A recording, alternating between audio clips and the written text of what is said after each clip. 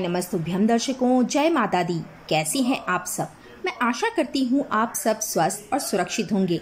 दर्शकों 29 सितंबर, नवरात्रि का चौथा दिन, चतुर्थी तिथि और विनायक चतुर्थी पर यदि आप भगवान गणेश की कृपा पाना चाहते हैं तो एक विशेष उपाय आप अवश्य ही करिएगा, जिससे आपकी हर मनोकामना पूर्ण होगी। साथ ही भगवान गणेश का आशीर्वाद प्राप्त होगा और माता भी आपसे प्रसन्न होंगी। क्या करना है आपको?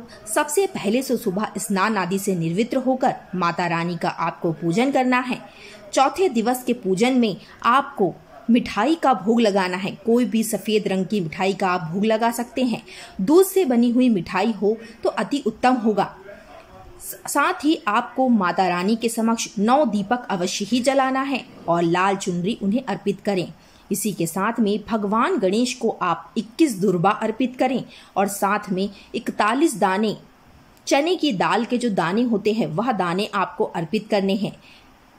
और अपनी मनोकामना को कहना है। ग्यारह बार ओम गण गणपते नमा मंत्र का आप जाप करें और जय माता दी कहें। आपकी कामना अवश्य ही पूर्ण होगी। श्री शिवाय नमस्तुभ्यम दर्शकों, मैं आशा करती हूँ कि आपको वीडियो पसंद आया होगा। वीडियो यदि पसंद आया तो वीडियो को लाइक करिएगा। कमेंट बॉक्स में श्री शिवाय नमस्तुभ्यम हर हर महादेव, जय माता दी, जय माँ लक्ष्मी अवश्य लिखिएगा।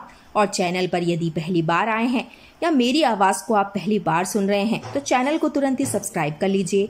बेल आइकन को प्रेस करके ऑल पर क्लिक कर दीजिए, जिससे मेरा जब भी कोई नया वीडियो आएगा, वो सबसे पहले आप तक पहुंचेगा। श्री शिवाय नमस्तुभ्यम दर्शकों, हर हर महादेव, जय माता दी। मिलते हैं अगले वीडियो में। तब तक के लिए धन्यवाद। श्री शिवाय नमस्तुभ्यम दर्शकों, जय माता दी। धन्यवाद दर्शकों।